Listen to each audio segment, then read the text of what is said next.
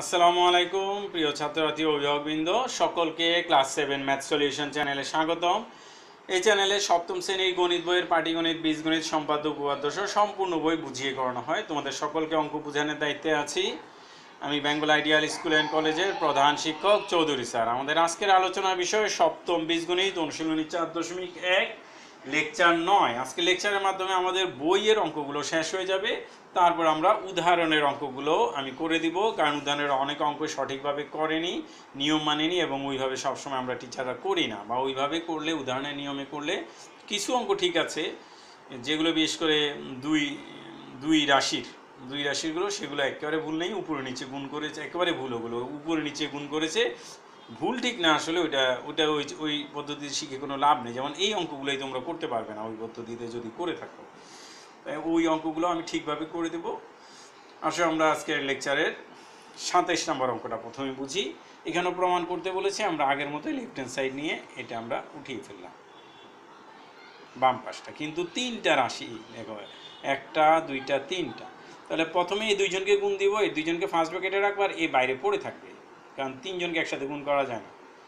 আর আমি, আমার ওই সুবিধাটা বললাম মাইনাসটাকে আগে লিখলে সুবিধা হয়, আমি মাইনাসটাকে আগে লিখলাম প্লাসটাকে পরে লিখলাম। আর আবারও বললাম এইভাবে না করলে হয়, কিন্তু সুবিধাটা থেকে বঞ্চিত হবা এখন এ দিয়ে প্রথমে কাকে গুণ দিব?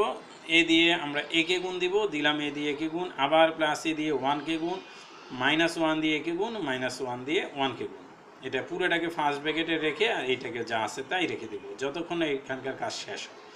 এবার আমরা গুণ করে ফেলি, এ গুণ দিলে স্কোয়ার এ আর ওয়ান গুণ দিলে a plus a minus one R a গুণ দিলে মাইনাস এ কারণ ওয়ানে কোনো ভ্যালু নেই, গুণের সময় ওয়ান চলে যায়, যা আছে তা থেকে মাইনাসটা এখানে দিলাম ওয়ানে ওয়ানে গুণ দিলে ওয়ান হয়।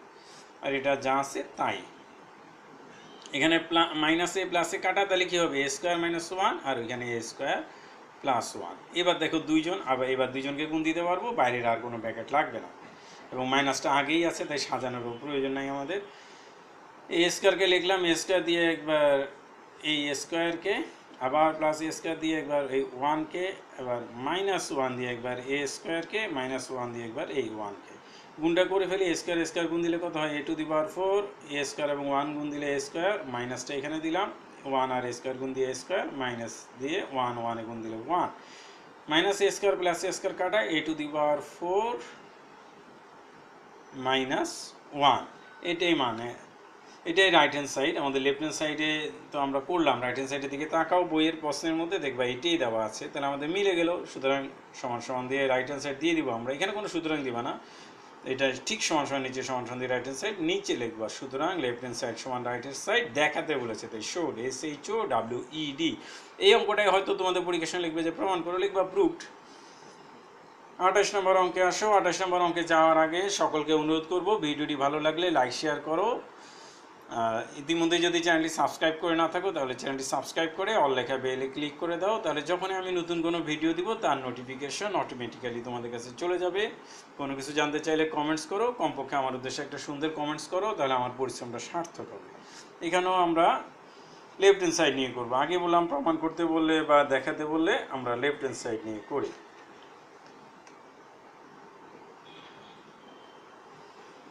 স্বাভাবিকভাবে এখানে আমরা লেফট হ্যান্ড সাইড নিয়ে করব। আর আগের মতো এটা সেম প্রথম দুইটাকে আগে করব। প্রথম দুইটাকে উঠালাম আমরা।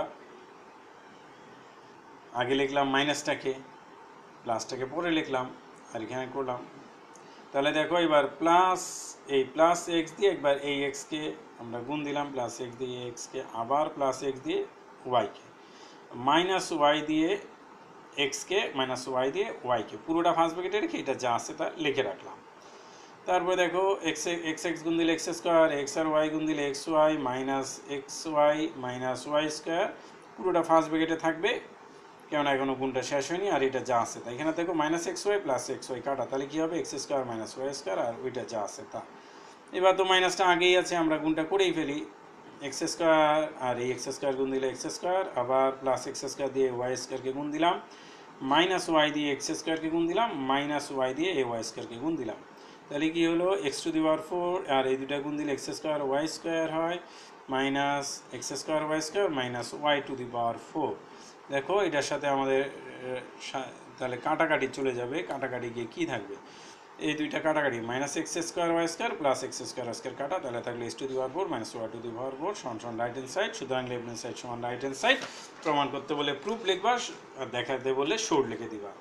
এর সাথে আমাদের ভিডিওটি শেষ হলো। পরবর্তী ভিডিও দেখার আমন্ত্রণ রইল। আসসালামু আলাইকুম রহমতুল্লাহ।